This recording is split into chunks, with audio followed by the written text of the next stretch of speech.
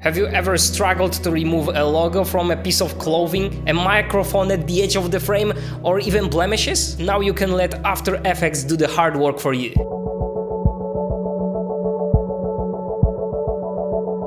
If you want to remove a static element from a static shot, it can be done pretty easily. But if this is not the case and the camera and object are moving in the shot, then object removal is a very tedious task. Or is it?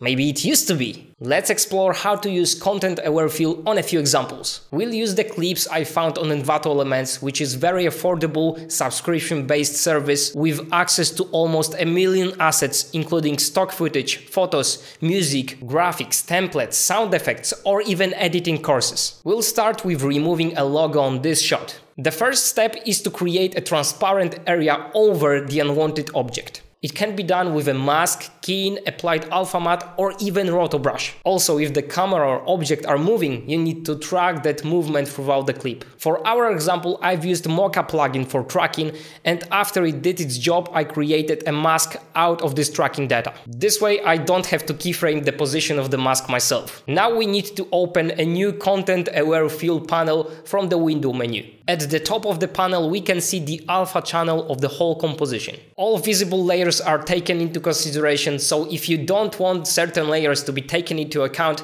just turn its visibility off. This alpha expansion slider simply makes the transparent area wider if you increase that value. Sometimes it may help you to get better results. Now, the most important option to choose is the fill method. Generally, object is best for getting rid of moving objects in a frame. Surface is best for static surfaces, like for example a poster on a wall and edge blend is best for removing static objects on surfaces that don't have much texture. So object fill method is the most advanced one, but it also takes longer to analyze than the other two. For this example, logo is not moving across the surface it's on, so we can try the surface method. The object method would also do the job, but edge blend method would not be good because we've got texture going on on the shorts. With range, we can simply choose to render fill layer for the duration of work area or the entire composition. In our case it doesn't matter because both are the same. If the image is complicated or you try to remove really big objects, you can create reference frame which will create a single frame that will open in Photoshop.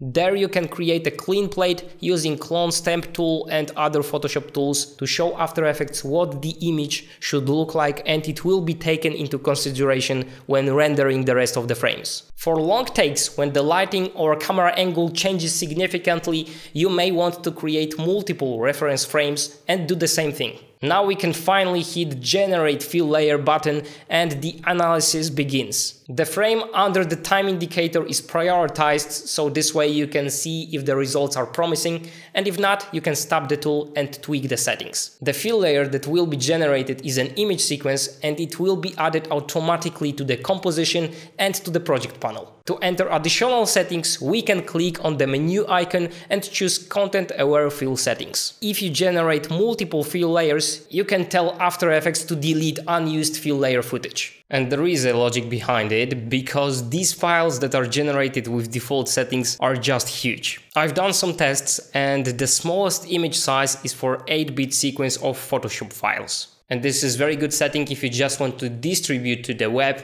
and if content aware fill is the last step before exporting. However, if the clip will be color graded or handed to VFX artist, you should export to 16 or 32 bit per channel image sequence. Just bear in mind that it will be a lot of data. There are many scenarios when this feature will make your life easier, from logo removal like the one we just performed to removing the camera equipment that somehow happened to find its way into the frame and to the more complex scenarios when you want to bend the reality. For the second example, let's remove the car from this shot. Once again, I open the clip in Mocha and draw a shape around the car and its shadow. Because it's coming out of the frame, I start tracking from the middle and next I track backwards from the same place. Now in After Effects under Matte in Mocha effect, I choose Create After Effects Masks. I change the mode to Subtract to make a hole in the clip, tweak Alpha Expansion choose Object Fill method and click Generate button. In this case it took a few minutes to analyze 8 seconds long clip and results speak for itself. By the way, have you ever been in the situation where this new feature would be useful? Let me know down in the comments. And in the third example, we will use Edge Blend Fill method. This clip has been shot with the sticker over the logo, because no one will be able to figure out that it's Mac this way, right? It's stupid, but you know, stock footage. Here I decided to create a mask manually because there is very little movement and keyframing mask position was just a piece of cake. I chose edge blend method because this surface lacks texture. Then I hit the generate fill layer button. This method is a little bit faster, so relatively quickly we're done and it looks like it's not Mac after all. Now that you know how content-aware fill works, it's time that you get familiar with 28 new updates to April release of Premiere Pro 2019. Or if Premiere Pro is not your thing, then check out the tutorial for my double exposure channel intro. Hit that subscribe and bell icons and see you there.